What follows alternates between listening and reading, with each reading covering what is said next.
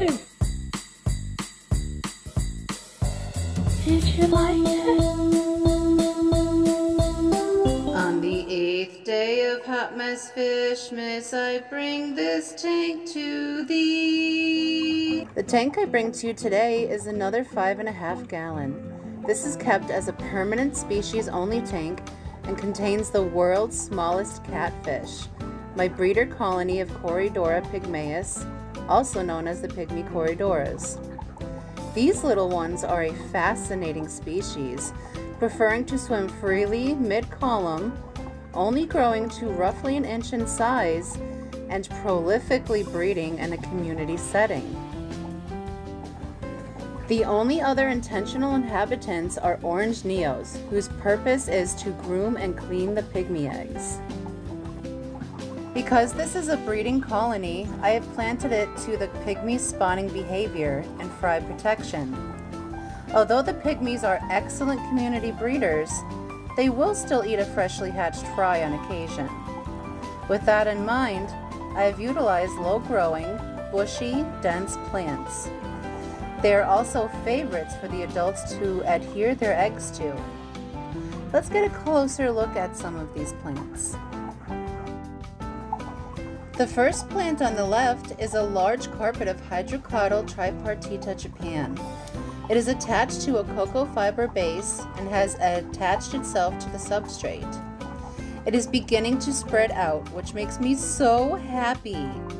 For the longest time, I was great at killing this plant. Drove me crazy because this is my favorite plant. But one day at my local LFS, which is Ace Hardware, I spotted this lovely mat in one of the tanks and it had to come home with me. It has quadrupled in size since then.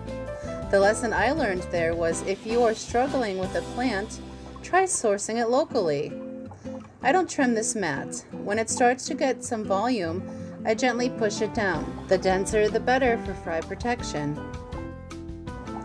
The plant to the left is a piece of driftwood covered with self-attached swasser tank. The mother sus was originally sent to me by Mary Page Flynn four years ago. This plant feature is used more as cover for the adults. The whole crew of 22 strong can occasionally be found resting together in the path underneath. Behind the Susswassertang is an awakening Madagascar lace plant from Ace Hardware as well. This plant will extend massive leaves that will fill the entire upper column of the tank. Some may not agree with me for keeping a Madagascar lace in a 5.5, but it's ultimately about the happiness of the inhabitants.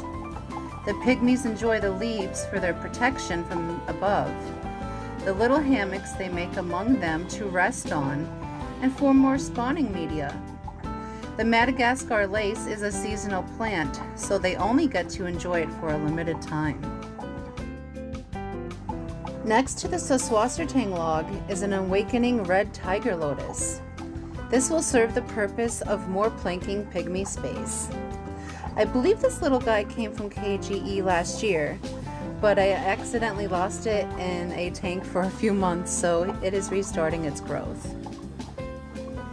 In the foreground, I have Crypt Marsilea beginning to carpet. I love this little leafed plant. The mother piece was sent to me by Kelly Foreman. Thank you for introducing me to this plant, Kelly. The purpose this crypt will serve is to provide additional cover for the newly hatched fry while they are learning to feed. The parents don't really like to go below the Marsilea, so I think it'll serve this purpose well. In the back right corner, I have a little forest of Alternanthera reineckii. That is really hard to say. This began as a tissue culture gifted to me by Fission Tanktics almost a year ago. Thank you so much for this plant, vision. It has been an almost painfully slow growing plant. Initially, I floated the baby stems until they developed elongated root structures. I then planted them in the substrate and prayed the pygmies wouldn't wiggle them free. It took many months for them to adjust, but they are finally starting to really fill in. The pygmy adults love to rest on the leaves, The bigger fry have made a fort underneath, dashing back and forth.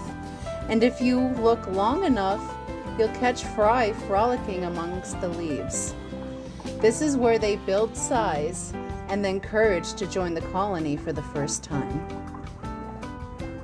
All of these plants are in 200 TDS, more GH than KH, low to mid light, and non CO2, about 75 degrees.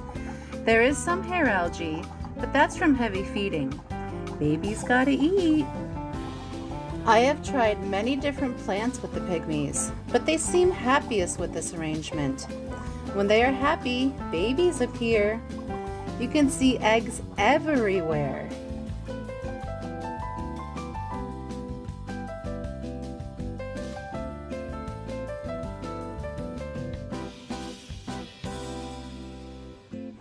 They even appreciated the hair algae. I hope you enjoyed the 8th tank in the 12 Tanks of Fishmas series. We'll see you tomorrow with Miss Didi's next selection. Love you all.